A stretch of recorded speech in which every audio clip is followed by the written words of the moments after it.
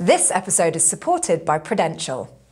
Cameras. They're the reason you can see me right now, and they're also the reason why so many precious moments are stashed away safely inside your smartphone. And just like everything else, these visual marvels are possible because of the laws of physics. To capture an image, a basic camera has a lens that light passes through, and a lens opening behind that, which controls how much light enters the camera. Whatever light passes through when a picture is taken strikes the film or the digital sensor in the back of the camera to be recorded as a photograph. But whether or not you're a photographer, Every day you're dealing with lenses, images, and keeping objects in focus. Because even if you've never picked up a camera or smartphone in your life, you're probably still using your eyes.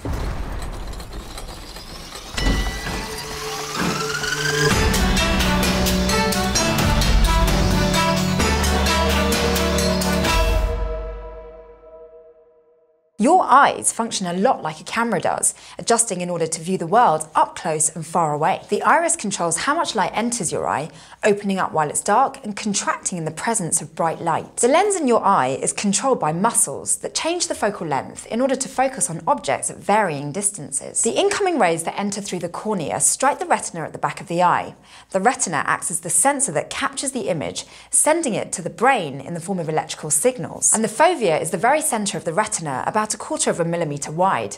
This small area is the source of the sharp central vision that you use while reading or focusing on a single point. Let's do a little demonstration to see just how good your eyes are at producing a sharp image. Cover one of your eyes with one hand and with the other hand, hold up something with writing on it, like a physics textbook or a grocery list. Now start with the text very close to your eye and start to slowly move it away until it comes into sharp focus. Found the spot? Congratulations! You've located your near point, the closest distance at which your eye can focus on an object. When someone has a near point that's further than average, which is around 25 centimetres, they have hyperopia, more commonly known as being far-sighted. Someone who's far-sighted can see distant objects just fine, but when objects are too close, their eyes can't make light rays converge at the retina, and instead the image forms beyond the retina. This can be corrected by eyeglasses with converging lenses that bring light rays closer together to form a clear image on the back of the retina.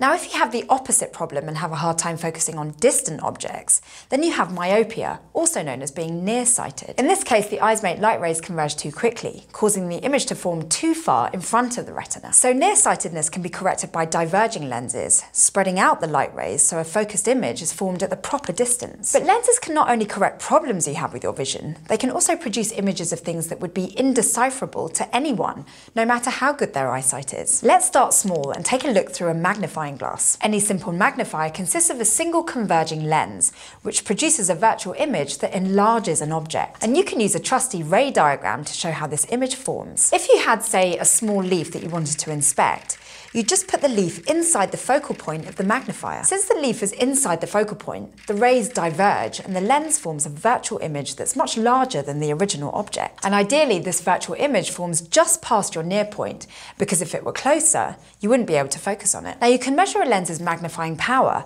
by comparing the angles at which light rays enter your eyes. Every object takes up some amount of your field of vision, and mathematically, you can express that in terms of how much that object subtends. An object is said to subtend a certain angle of your vision based on how close you are to it and how big it is. For example, if you're looking up at the moon and you cover it with your thumb, then your thumb and the moon are both subtending the same angle to your eye, which we measure in degrees. So if you look at our tiny leaf, it may subtend only two degrees of your vision when it's at your near point, say 25 centimeters away. But when you look at the leaf through the lens, the virtual image is larger than the actual object, so it subtends six degrees of your vision. In order to find the magnifying power of the lens, you just divide the angle subtended by the virtual image by the angle subtended by your unaided eye.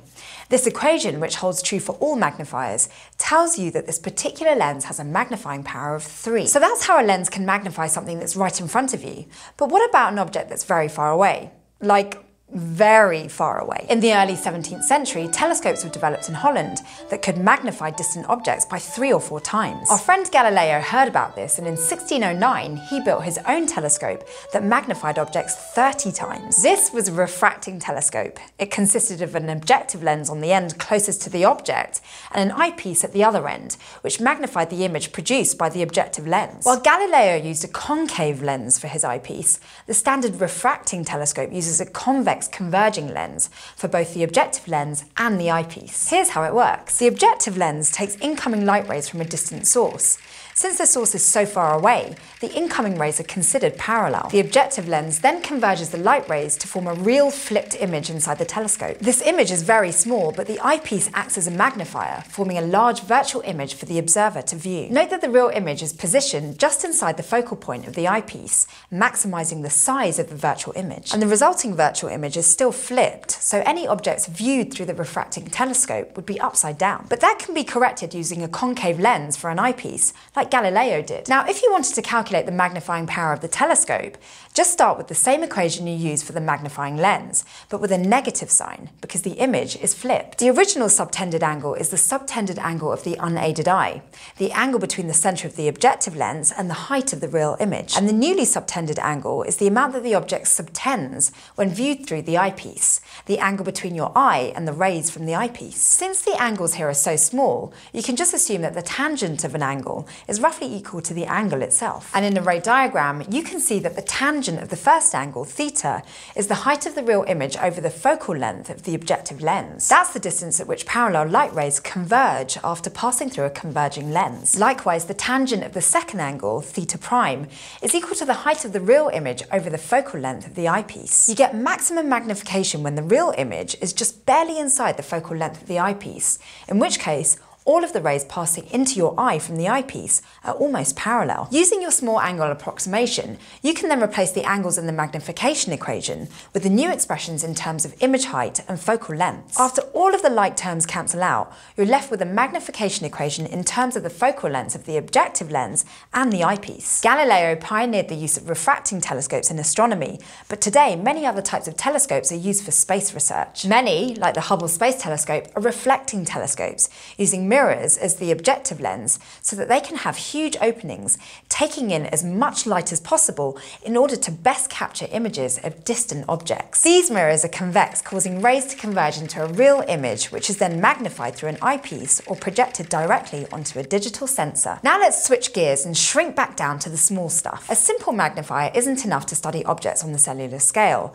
so we've developed compound microscopes, which like a telescope use objective lenses and eyepieces to magnify objects. Only this time, the object distance to the objective lens is much smaller. The object is placed just beyond the focal point of the objective lens, so light rays again form a flipped real image on the other side. And just like with telescopes, the real image is just inside the focal point of the eyepiece, generating a large virtual image for the observer to view. Now remember, for all these optical instruments, our original optics equations still hold true. We have the magnification equation expressed in terms of subtended angles, but we can still use the equations in terms of distance and height for both objects and images. Likewise, the thin lens equation is still applicable to most of our basic situations. Remember that? It's the equation that relates the object distance and the image distance to the lens's focal length. Now, as amazing as our technology has become for capturing images, we can't escape the fundamental wave nature of light. When we first learned about how light travels as a wave, we saw how light passing through a thin slit spreads beyond the edges of the slit. This diffraction, which is the reshaping of light by obstacles, happens in lenses too. Since lenses have edges, the incoming rays will always diffract and produce slightly blurred images, even if the lens is perfectly crafted. For instance, a single point of light when captured by a camera will appear as a central bright spot known as a diffraction disk, with weakening circular rings of light spreading out from it. The ability of a camera to produce images of points very close together is called resolution, a term that you've probably heard before. The higher the resolution, the clearer two points that are close together will appear in an image. For telescopes and microscopes, the ability to resolve an image becomes more difficult as the magnification gets higher, because the diffraction patterns that they create are magnified too. So the magnifying power of optical tools is limited, because light acts like the wave that it is. Today we learned about how the human eye functions like a camera. We also studied simple magnifiers and how to generate an enlarged virtual image. Then we analysed how refracting telescopes and compound microscopes function using the same principles. Finally, we discuss how the wave nature of light affects the resolution of images in cameras and all optical instruments. Thanks to Prudential for sponsoring this episode. What matters most to you today? Is it your travels, dinner dates with your friends, season tickets to see your favourite sports team, long weekend getaways, or even buying gifts for your kids? According to a Prudential study, over half of Americans are not on track to be able to maintain their current standard of living in retirement. What would you prioritise if you couldn't maintain your current standard of living? Go to raceforretirement.com and see how, if you start saving more today, you can continue to enjoy the things you love tomorrow. Crash Course Physics is produced in association with PBS Digital Studios. You can head over to their channel to check out a playlist of the latest from amazing shows like Deep Look, PBS Idea Channel, and It's Okay to Be Smart. This episode of Crash Course was filmed in the Dr. Cheryl C. Kinney Crash Course studio with the help of these amazing people, and our equally amazing graphics team is Thought Cafe.